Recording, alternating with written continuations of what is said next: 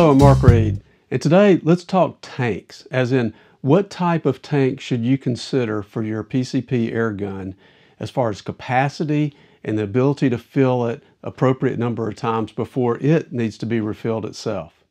Now some may say the old adage, bigger is better, always holds true, but that just may not be the case for your individual needs. In fact, the answer to the question of what type of tank you need is it depends. Depends on your need and your individual situation, your individual gun or guns. So you may in fact just want to consider getting a backup tank like the type your air gun has. That would be a good option if you're just going out for a day or you're hunting in the woods and you want some mobility. You could consider getting a tank like this. Now, there are differences in backup tanks or the types of tanks on your guns. Some require threaded uh, screw on. This would be an example of like an Air Force type airgun tank that uses a spin lock so that uh, you don't have to really screw the tank on itself. In my opinion, I think this is a better option than continuously trying to thread a tank on on a regular basis. I would be cautious about that only because if you misthread it, you could tear it up and that's something you don't want to do. But having a backup tank is never a bad idea. It's just depending on how you want to use it. Another major consideration would be what type of pressures are you shooting in your airgun tank? So if you have a low pressure, and I consider low pressure uh, somewhere around 3,000 psi versus a 4,500 type psi option on your gun. If you're using low pressures, you could consider getting a, what we call a buddy tank, which is a smaller tank uh, designed to be also potentially carried in your backpack, although it's not extremely light. Um, a buddy tank like this is about 90 cubic inches or 12.9 cubic feet. Uh, it would certainly be appropriate to use for multiple fills on low pressure guns around 3000 psi and this is something that I use for quite a long time with the Air Force type system.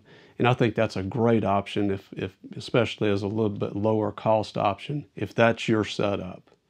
Now the next option I would consider would be what I'd call a mid-size type tank like this. And mid-size tanks basically run from 4.5 to 6.8 liters. That would also be equivalent to 44 to 66 cubic feet. And if you're looking at tanks known as SCBA tanks or self-contained breathing apparatus tanks or fireman's tanks, that would be equivalent to a 30 minute or 45 minute tank. This, this is a 45 minute tank and I found it to be extremely useful. Now, this is probably going to be the majority of people who have um, higher capacity air guns, uh, around 4,500 psi it, tanks on their guns. And these tanks um, can be filled with non-commercial type compressors like a Yonghe. Now you would not generally use an oilless compressor to fill a bigger tank like this. Uh, so oilless compressors are used only really for filling own gun tanks and you know the intrinsic tank within the gun. But this type of tank could be filled with a relatively cheap compressor like a Yonghe or certainly a higher end compressor. Now a mid-sized tank is going to be a very popular choice for most people because of its higher capacity.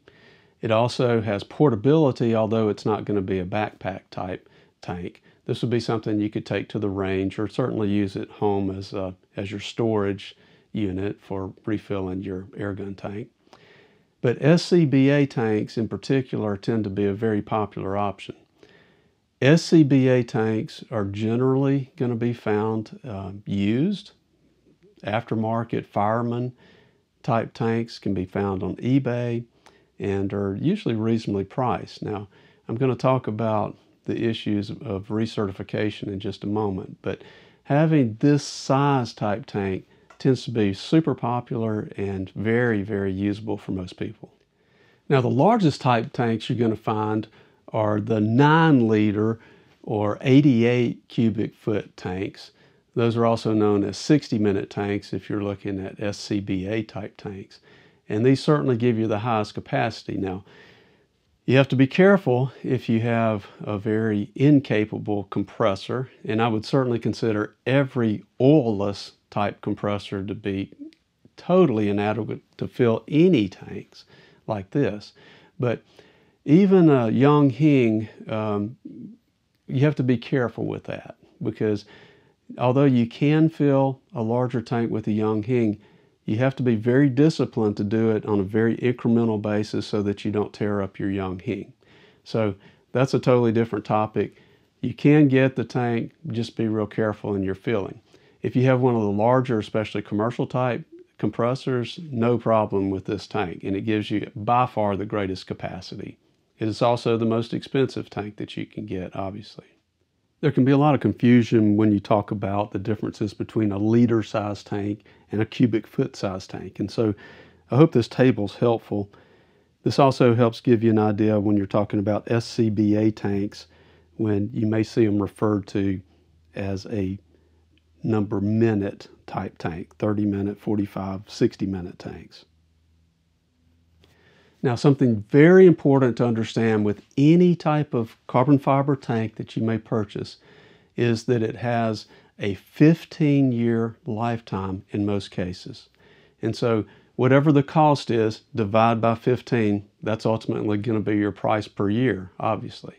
And so, when you buy a tank, knowing ahead of time that it has a 15 year lifetime, it also has other requirements associated with it, particularly that every five years it has to be recertified through what's called hydro testing.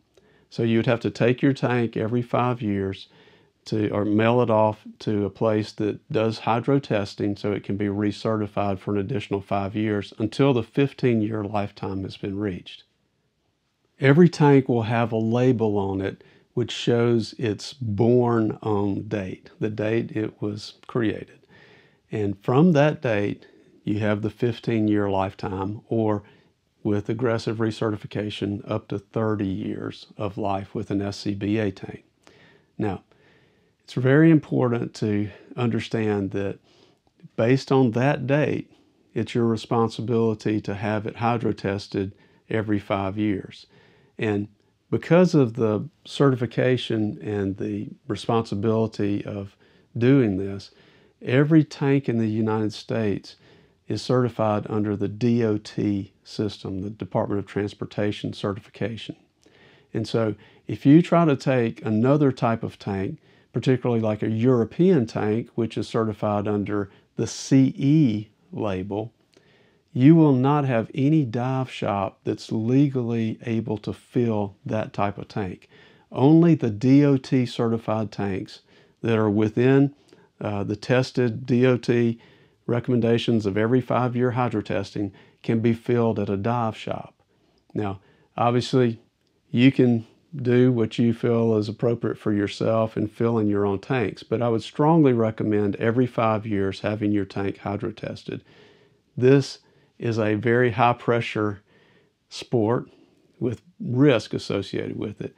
You should never take a risk with your own life in uh, not having your, your equipment tested on a regular basis. Now, one word about SCBA tanks in general.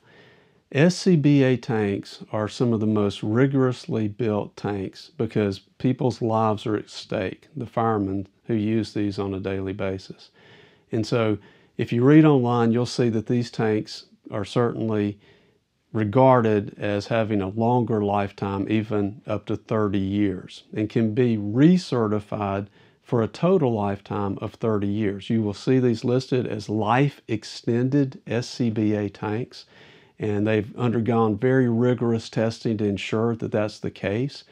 But SCBA tanks um, are extremely tough and so uh, you can, of course, break any tank if you treat it roughly, but it's very difficult to do that with the SCBA for a reason. So if you see an extended life SCBA, it's usually had 15 years of, of use already and has been recertified for an additional 15 years. You may find these at a lower price and may be a fairly good deal. An additional consideration if you buy an SCBA type tank is that you have to have the ability to transfer the air into the tank as well as out of the tank. And so you'll need an adapter to do that. Uh, I chose a Stickman adapter, it's highly regarded, but there are other adapters that you can use. But you have to screw this into um, the tank itself to be able to add the air and to transfer air out. If you buy a different type of tank, uh, you should have a stem at least accessible so that you can fill and get air out. I hope this has been helpful in deciding what type of tank to purchase. I wish you the best and thank you so much for watching.